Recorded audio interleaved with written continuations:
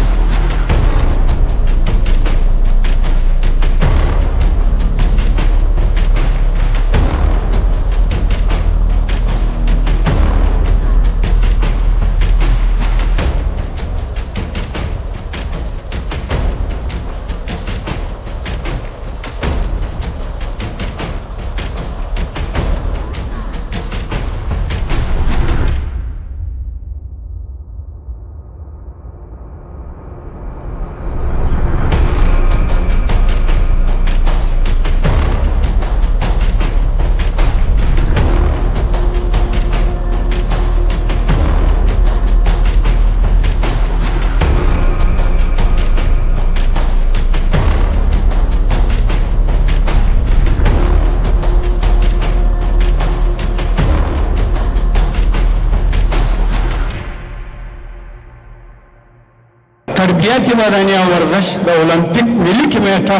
د افغانستان د ټولو ورزشونو نمایندګي کوي یوازینۍ مرجع د ورزش او د ورزشکار تربیاتي بدني او اولمپیک دی هیڅ ارګان په افغانستان کې نشي کولای چې موازي اولمپیک یا تربیاتي بدني جوړ کړي ورزش ته اجازه ده ټول افغانان ته ټول ارګانونو ته خو په دغه شرط موږ سره به هماهنګي او تفاهم لري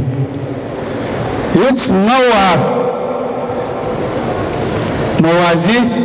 تربیت مدني زموږ اداره نه مني